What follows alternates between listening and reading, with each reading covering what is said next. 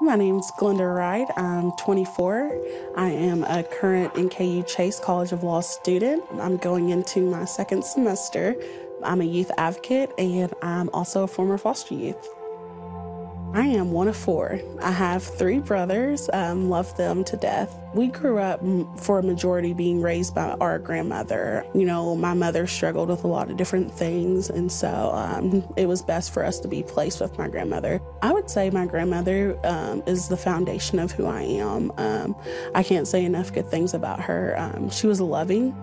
Um, she told me that I could do anything I wanted to do. When she passed away, unfortunately, in 2009, there wasn't anyone to take all four of us. So then we went into foster care at that time.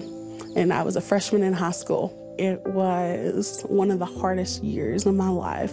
That's whenever I started being split up from my brothers. So that was really um, awful too. It almost felt like somewhat of another death to not have them with me in such a big transition in my life. I had seven placements in four years that I was in high school.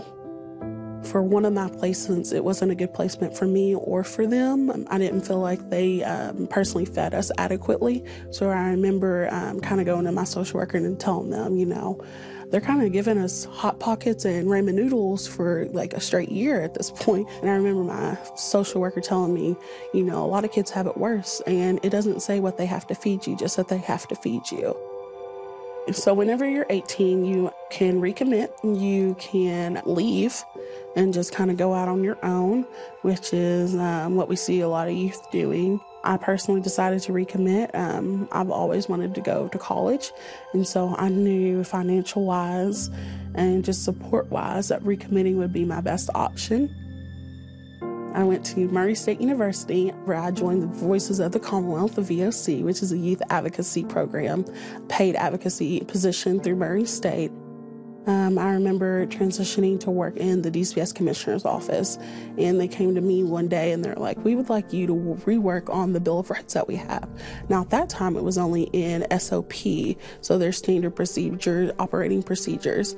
And I was like, Well, this is something I'd love to see solidified in law. I think it needs to be. You know, we have a foster parents Bill of Rights. Why are we not looking at our youth? I feel like the youth should be the center and they should be the most important aspect of the team. And so that's something I'm really proud of. You know, these rights are, when you read them, they look like basic human rights. But unfortunately, you know, some of these rights aren't protected. And so putting it in law and making sure there's a process that um, they can file complaints um, was really important to me. Before the driver's license law came into effect, foster youth were not allowed to get their permit, their driver's license until after they turned 18. And as you can imagine, that's a lot of barriers, especially if the youth doesn't recommit to the state.